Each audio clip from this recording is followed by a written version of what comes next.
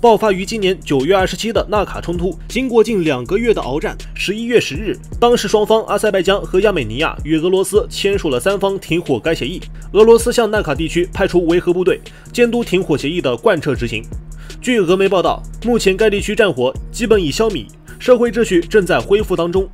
然而，一波未平，一波又起。近日有印度媒体声称，克什米尔恐成下一个纳卡。据印度媒体《亚欧时报》网站报道。土巴准备联手由土耳其支持的叙利亚反对派武装指挥官阿布阿姆沙日前向其控制区内的部分民兵放出消息，安卡拉希望派遣一支雇佣兵部队前往克什米尔参与印度和巴基斯坦的军事冲突，并要求其拟定一份志愿者名单，初期每人将得到两千美元的报酬，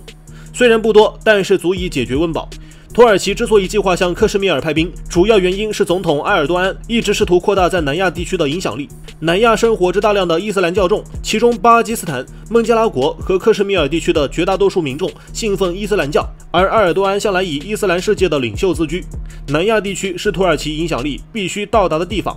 然而，在过去相当长的一段时间，沙特占据伊斯兰世界的统治地位，在南亚地区的影响力无人能及，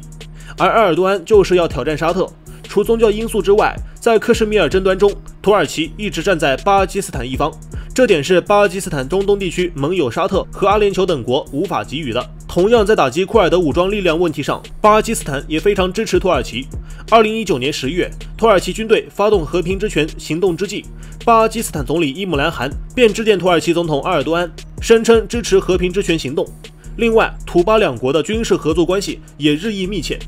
二零一七年五月。巴基斯坦向土耳其采购了四艘岛级轻型导弹护卫舰，二零一八年又订购了三十架 T 幺二九武装直升机。对于纳卡冲突，其实巴基斯坦和土耳其以及阿塞拜疆早在二零一七年便构成了一个三边机制，互相支持。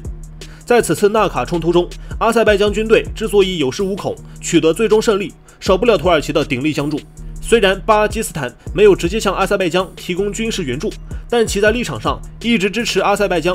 据印度媒体报道，阿塞拜疆取得纳卡冲突胜利之后，在其首都巴库举行的庆祝活动中，就有当地民众手持巴基斯坦国旗。